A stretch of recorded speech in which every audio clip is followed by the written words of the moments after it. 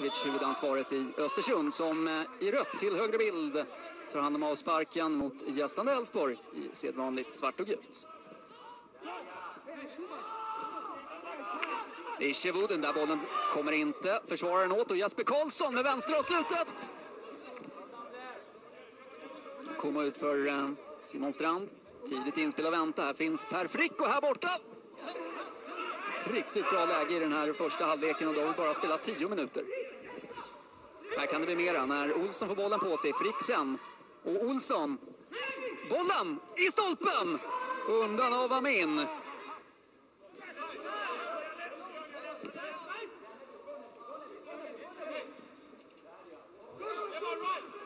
Perry, efter att han har fått den här bollen av Noah Sonko Sundberg som får tillbaka och skjuter utanför. 24 minuten, en hög sådan som når hela vägen bort mot Larsson. Undan sen. Sonko Sundberg och sen eh, Haugen. Sugen på det såg det ut som i alla fall. Det blir Sonko Sundberg. Perry utmanar mot Larsson in i straffområdet. Nebby Perry med inspelet som går förbi både Sellers och Turgut där inne. Men det är Elfsborg som har skapat eh, kanske de bästa chanserna i matchen. Här kommer Rasmus Alm för mera för gästernas del. Skickar ut för Larsson. Och den bollen precis utanför efter att Isherwood touchat den.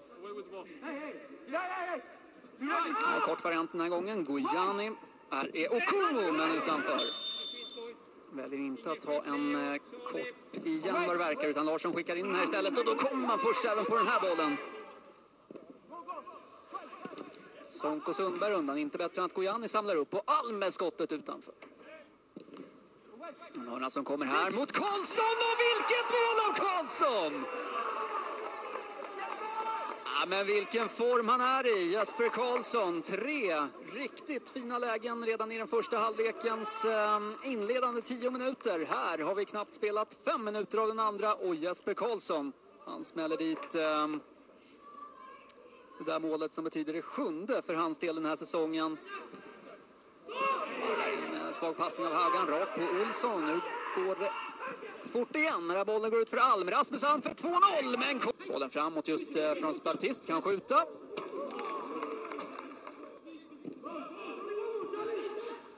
Och Kolkett! Och vilken räddning igen här av eh, Rönning. Då skickar in den här. Undan. Den kommer ner för Perry som skjuter men då står Elfsborg spelare i vägen.